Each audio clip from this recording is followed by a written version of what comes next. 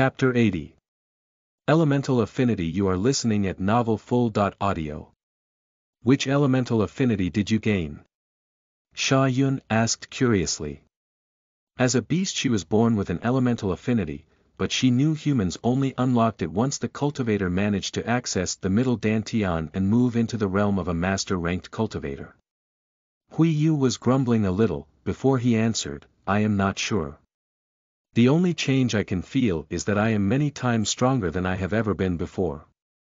This is actually quite odd. Deep within the Dantian cave Lan Feng nodded, and his previous haughty expression was replaced by a confused frown. I can't feel your affinity. He said slowly. What do you feel? Hui Yu looked at Sha Yun apologetically before he sat down and entered a meditational position, after which he created a mental projection and moved to the lower Dantian. It was time for him to explore the depths of the changes in his body. Seated within the Dantian cave, Hui Yu's mental projection looked around and saw that a new tunnel dot-like structure had appeared at the ceiling right above the chi spiral. He noticed how strands of chi from the spiral were being sucked into the new tunnel at an incredibly slow pace. At this sight, Yu scrunched his brows and excitedly allowed his mental avatar to float up into the tunnel, to see where it ended. The tunnel was long and the stone cave twisted slightly from going upwards to becoming a slope. The tunnel walls had at first been jagged and rough, yet the further Hui Yu moved the smoother they became and eventually Hui Yu no longer felt as though he was walking through a rough tunnel but rather a stone hallway. After traveling through this hallway for a period of time, Hui Yu reached a set of gates. The gate doors were massive and created from carved-out stone, elaborate carvings of two phoenixes with a massive vermilion bird in the middle spreading a daunting yet resonant presence from the sealed entrance. Looking at the gate, Yu could not help but wonder what had created such a thing within him. Dot, they were carved by Qi, like a manifestation. Lan Feng answered his question. Ever since you reached the peak of the ninth dot star practitioner rank, every excess strand of Qi you refined went into carving out this gate, allowing for you to open your middle dantian.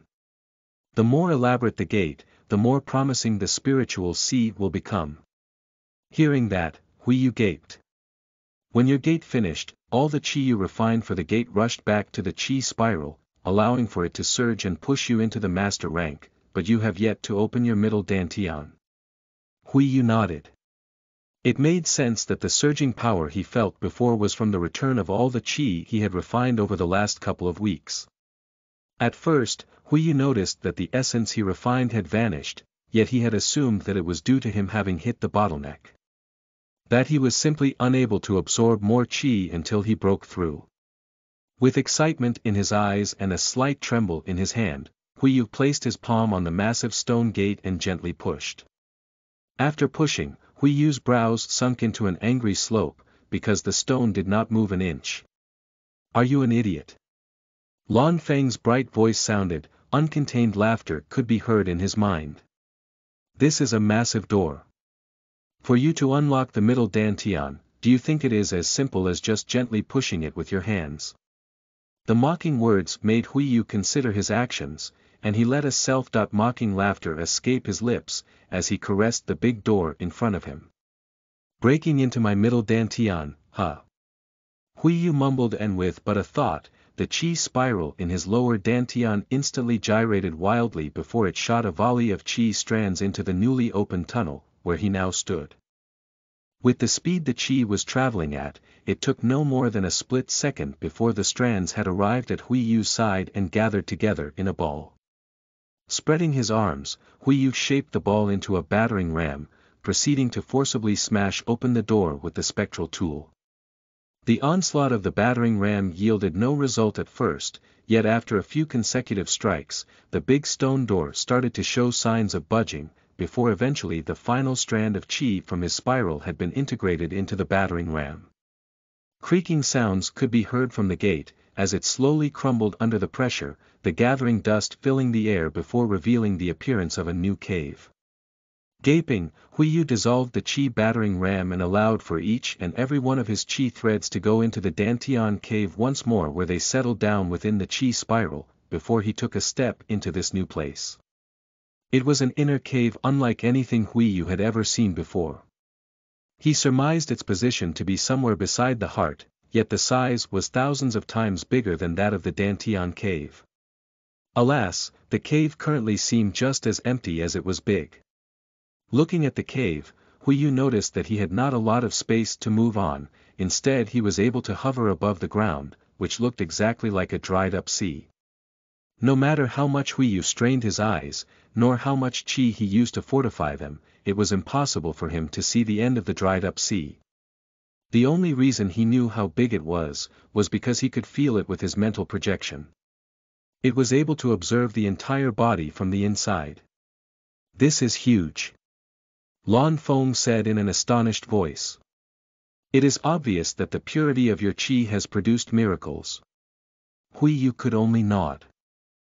He had no way of knowing how large the spiritual sea was for other cultivators, but he was definitely of the impression that this sea was vast and would be difficult to fill up with spiritual energy. Just as Hui Yu was starting to feel slightly depressed, he noticed how gusts of chi appeared within the cave, and a copy of Hui Yu materialized in the very middle of the spiritual energy sea, where it was seated with closed eyes and hands neatly formed into the bird hand symbol. This copy looked exactly like the one within his lower dantian and just like as that copy was refining chi from essence, this copy was attracting a steady stream of chi threads which in turn were absorbed. Ever so slowly, it started refining the first drop of spiritual energy. Hui Yu was silently observing the spiritual essence sea in front of him for a long time before he finally managed to wrest his attention away. Looking next to him, Lan Feng was standing proudly and upright, looking at the same sea as Hui Yu. The white dot-haired boy noticed how nostalgia was flooding him from Lan Feng's soul.